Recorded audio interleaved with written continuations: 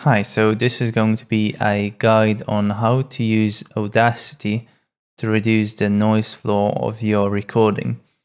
So at this point you probably have your recording done and you are you are about to edit it. Now before you start editing what I want you to do is to record the noise floor. So you're just gonna press the record button and stay quiet for a moment.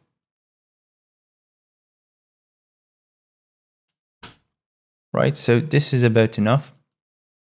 We have our noise floor right here.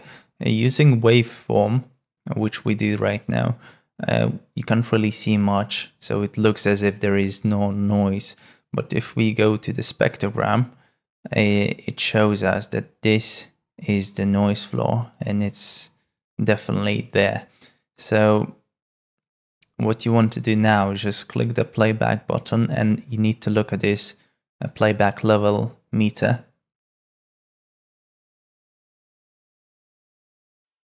And it tells us uh, what is the noise uh, floor level. So in my case, it's about minus 55. So it helps a lot when we are applying the noise gate tool, which we will do right now. But before that, I need some copies of my track so you can see the difference. Right.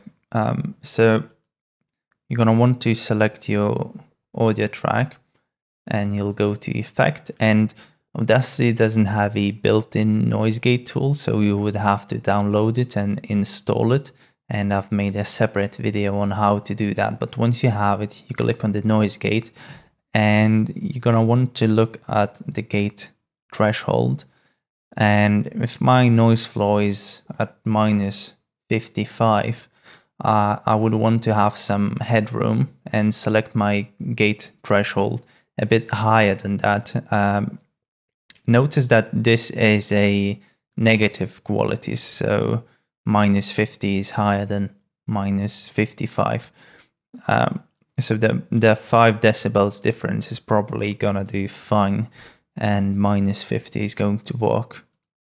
Now once you apply it, you, can see that it removed all the noise right here in this spot and it removed some of the noise in between uh, me speaking and not all of it.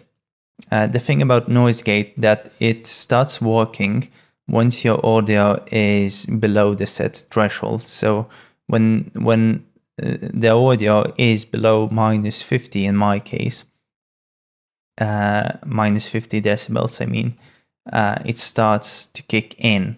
And there is a this attack and delay setting so it doesn't start immediately as you can see right here. Um, it takes some time for it to kick in. Uh, therefore we still have some residues here. Um, but uh, essentially it will remove most of the noise in between you speaking, but it won't remove any of the noise floor that is apparent when you are speaking. So the noise gate tool is really good when your noise floor is not too loud and when you can't hear um, the noise when you are speaking. Otherwise, if your noise floor is really loud, maybe have a very um, loud condenser microphone, which has some inherent noise. In that case, I would use another tool, which is called a noise reduction tool. So we're gonna work with that on this track. With the noise reduction tool, you still need to have a um, noise floor, um, this silent part recording. So we're gonna select this part we're going to go to effect. Now Audacity has noise reduction tool already built in, so you don't need to uh, download and install it separately. Um, now we selected the audio here and we're going to get a, a noise profile. Now Audacity marked this section of our audio as a noise and now it has this sample and we can remove any audio that is similar to this noise profile from our, our whole recording. So we're gonna select this track and we again go to effect and noise reduction and these are default settings and they work quite well. So you can leave them at that and you're gonna click OK. And as you can see, it doesn't remove all of this noise floor, but that's okay. You want some of the noise floor there so it sounds more natural. Um, but compared to noise gate, as you can see, it removes um, it removes noise even in the parts where you are speaking. So if you look right here, you can see that there's a slight difference.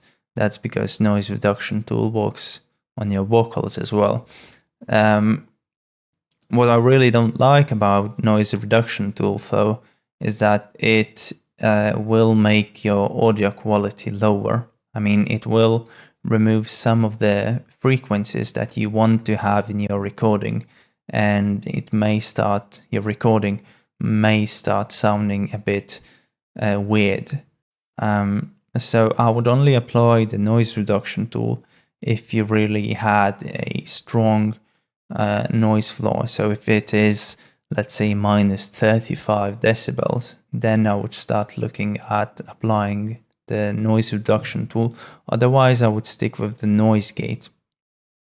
But but yeah, that these are two methods you could apply on Audacity to reduce your noise floor.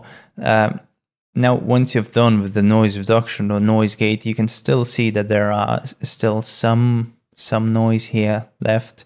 So some odd clicks, you will have to remove them manually though. But I hope this video helps for you to deal with that uh, noise floor.